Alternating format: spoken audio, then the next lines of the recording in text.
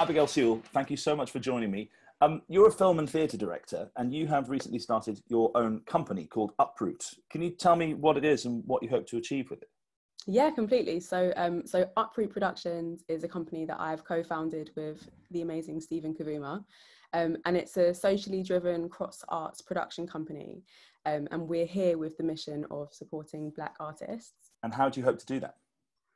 So we kind of want to adapt to whatever the the need is really because we've obviously got our idea of what that looks like and we've had some time to speak to various black artists about what they might need but particularly in um, in these current times it feels like we need to really be responsive um, so that could look like creating pathways and creating first time opportunities, um, opportunities that have a form of structural support.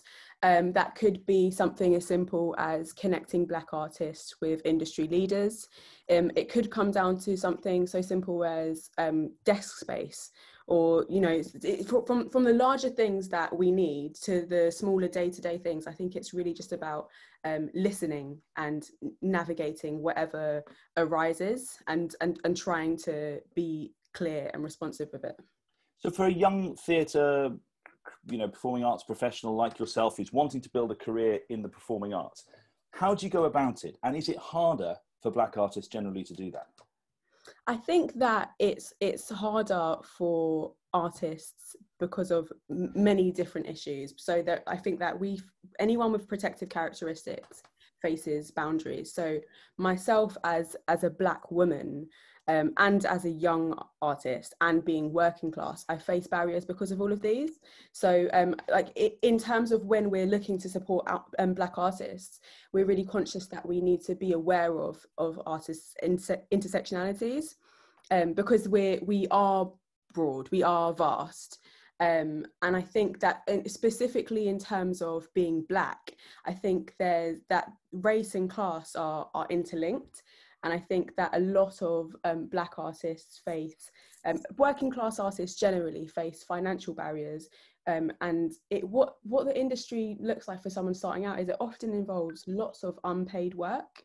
And then that means that these pathways are available only to those who have a trust fund or have, you know, parents who are able to support, to support them financially, which is why we then start to get these these the storytellers that look the same or come from the same sort of privilege. And so it's really important to ensure that funds and finances aren't a barrier for artists. And then as well as that when you're telling a story as a black artist when you have predominantly white people as the gatekeepers white people often don't understand the stories that we're trying to tell or they have an idea of what blackness is or they want to hear a certain version of our narrative. But we are like i said we are vast and we don't always fit into what anyone's idea of us is. And that idea is already built by the media which is already flawed. So how do we go about tackling that so let's look at that issue of gatekeepers. For, for somebody watching this who isn't an expert in the theatre world what do you mean by a gatekeeper? So a gatekeeper is someone who basically holds the keys, someone who can offer you an opportunity, someone who makes decisions, somebody who holds the funds, um, and so that could be um, an artistic director who does the programming, um, for instance. And and I think that it, a gatekeeper, I mean, it, in a way, it's it's it's. It, I think it often has negative connotations, but I don't think it necessarily needs to be that. So in in a way, through founding Uproot Productions, where I'm going to be um, offering opportunities in in a way that makes me a gatekeeper. So it's just more about how you how how you work with that gate. Is that gate open? Are, are, is it accessible? What are you doing to ensure access? Yeah right exactly. Do you think that your world of the theatre is changing for the better at the moment or has that process not started yet? I think that i don't have a um, broad enough view on like the the history of theatre because I think it's really easy to look and be like, oh look, there's this there's change happening. But often this change happens in a spike or there's like a moment of change. Like there was a time when we had like I think it was two or three um, black plays in the in the West End, and everyone was like, oh, it's amazing change. But I mean, obviously they're not there now because of COVID. But like, how is that sustained?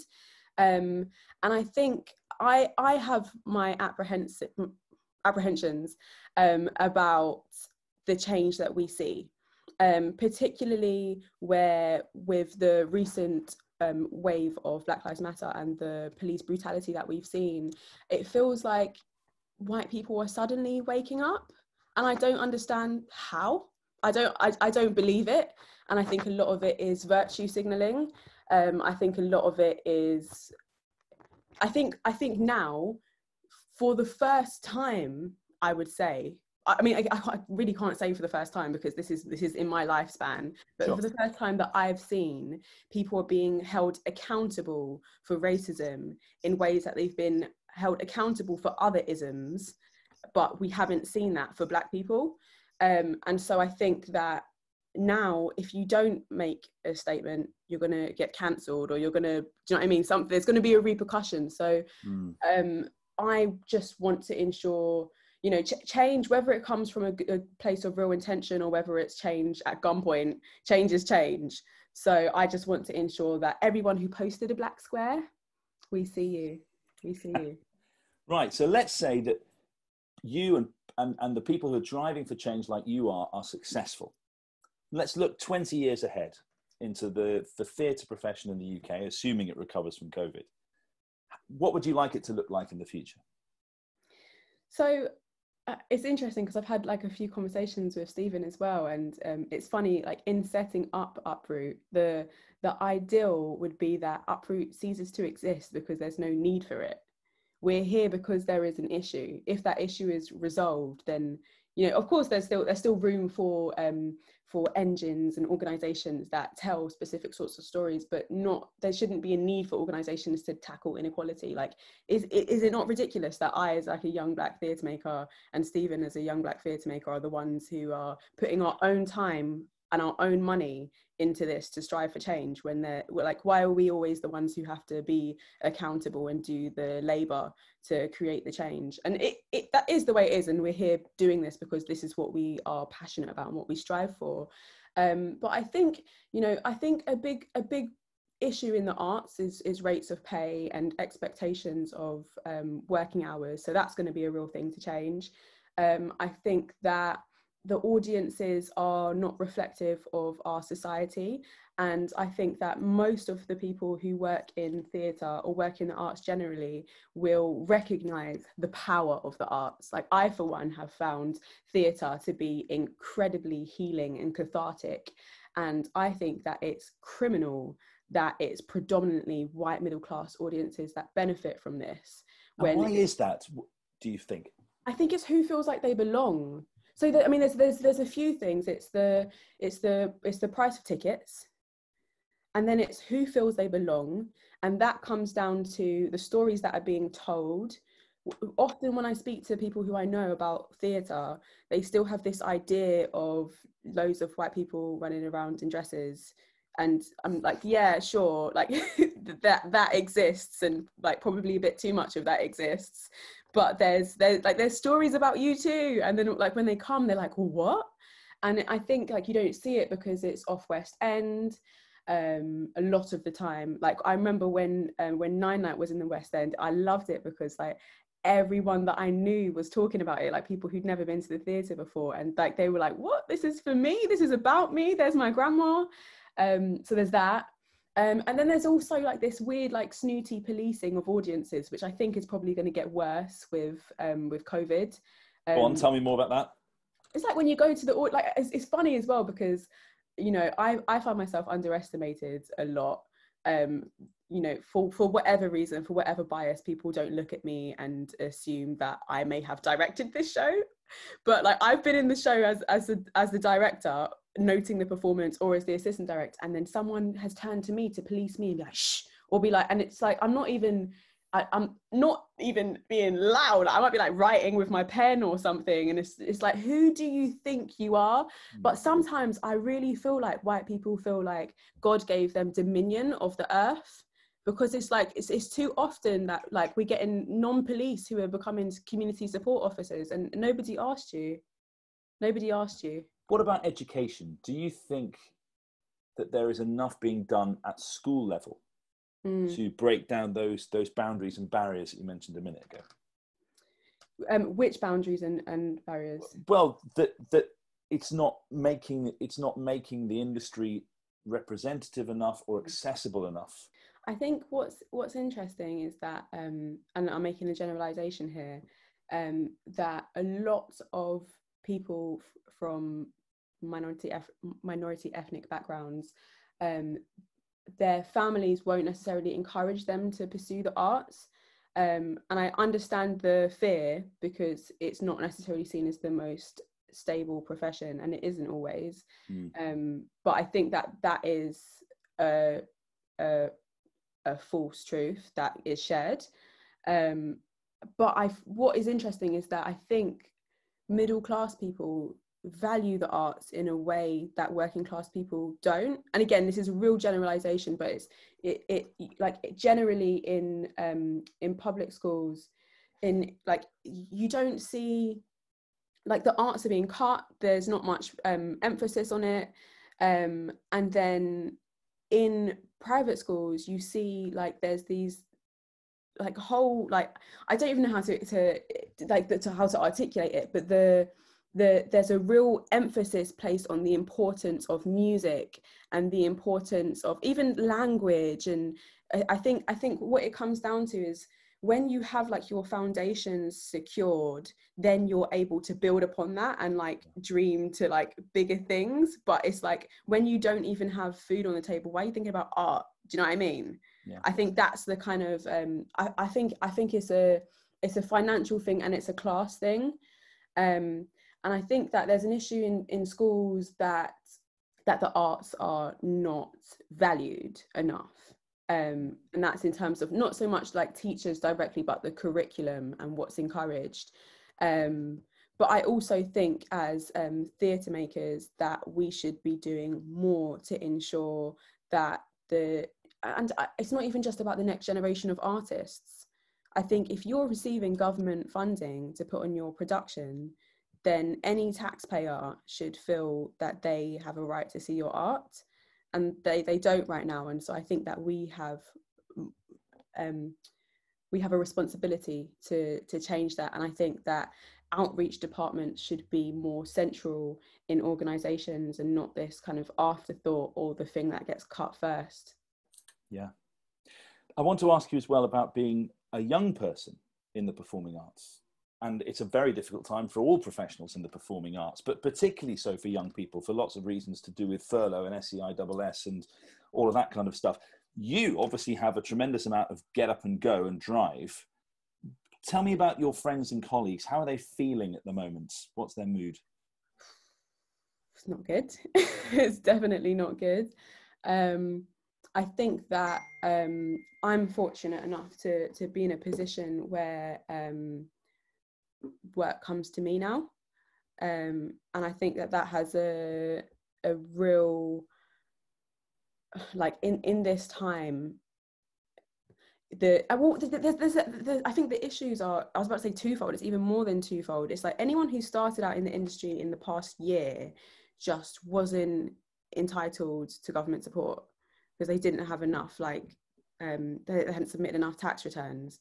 And like i'm really worried about the new entrants and the people who like were just like knocking on the doors and hadn't had like quite got their foot in yet. Um i think that there's the there's the there's a hunger there's a hunger to tell stories. Um but there's also there's not even there's not even i think i think what it is is that for for black artists like we're also weary because of black lives matter and we're also weary because we're disproportionately impacted by coronavirus. And i think that it's, it's difficult to comment on the general consensus but i think like i think for the most part my friends just want to work. Like we just want to get going and and make it happen. And I'm I'm loving how imaginative people are being with their you know digital responses and I, people were skilling up in other art forms um, such as like film and audio drama um, and yeah I, I'm I'm seeing I'm seeing the fight which I want to see I'm, I think we need to see right now That's good to hear. Can I ask you to give some advice? Can you give advice to people, maybe a bit like me, who recognize what you're saying about entrenched privilege and they want to do better and they want to do good and they want to be better people and maybe they've even tutted somebody in the theatre in the past what can they do what's what can they do to help positive change I think it depends on that person and their position. Like if you've got money, hand over the cash. um, uh, and I think it's also about like educating yourself. Like I, I, so like I'm not interested in in really like sitting down and having like too too many conversations to explain like like there are books for this. There are you know there's so many different ways of of educating yourself, and I think that I think that what we need to see is just a real a real acknowledgement of what that privilege looks like because I think there's a there's a resistance there's a resistance to accept privilege. I think i think even racism like when people talk about um what racism is it's a difficult conversation to have because it's so it's so like it's so some of my my experiences with racism if i tell them to you like I, I often get the thing of are you sure that was because you're black? And it's like yeah i am actually sure. I am actually sure. So sometimes it's it's just um maybe acknowledging that you're actually not quite going to understand this one but if you do have if you do have like your own um, protected characteristics and maybe take that and look at not not that like our experiences are the same like being black is the same as being queer and obviously there's there's different there's different um, people can be many layers of things. But i think just you know if you're a woman just just take that take that essence of what it feels like to be oppressed as a woman and understand how a man is not quite going to understand that and i think i think just really being prepared to to be held accountable um, in, in whatever way that looks like and just making space um, I think for for for for a lot of um, black artists, the real issue that we face is being is being considered a risk, um, and I think that that's proven to not be true. Like I feel like people love black stories, like they're they're they're, they're human stories. Um, and so even considered a risk in terms of programming, putting it yeah. on in the theatre yeah exactly exactly and i've seen um you know i've, I've kind of been trying trying to stay off social media um recently because like the way yeah it's a bit much um but I've seen conversations already where um, where theatres have announced their programming, where um, there have been conversations taking place and saying, "Oh, but you know the, the the issue of why we've we've programmed all of these like classic plays by white men um, with like older white male directors is because our audiences don't know these black plays that you speak that you speak of. And maybe there's some so maybe there's an element of truth in that and they're not going to to, to sell as much but i think um it's that's just it's, it's a lame excuse. It's a bit of a lame excuse like we're going to need to see something because i think now is a time where um, we could really take 10 steps backwards and it's a time when we can really like helpfully reimagine what things can look like and where you know things have been closed and people have had a time to actually paid time to think and plan. Um you know let's use that let's harness that. Yeah. So going back to the money you mm-hmm. said hand over the cash. Does that mm-hmm. mean go to the theatre more or does it mean donate to something it means come to come to Uproot Productions. That's uprootprod.co.uk. You will see our PayPal. You will see our Patreon. We could do with the support. Just tell people what a Patreon is. um, it's it's a it's a monthly um, commitment to to um, donate, and then you get like little privileges, like little care packages, and all of that. That's um, fantastic. Okay, now when the theatre's open, what will be the first Uproot thing that people can go and see? That is classified information. That's fine. We'll be on tenterhooks waiting to find out. it's in the works. Fantastic. Abigail Sewell, founder of Uproot Productions, thank you so much for talking to me. Thank you.